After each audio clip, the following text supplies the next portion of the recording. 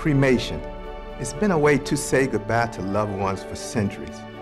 At Bliley's Cremation Center, We're carrying on this tradition by taking this ancient ritual and reimagining it for today.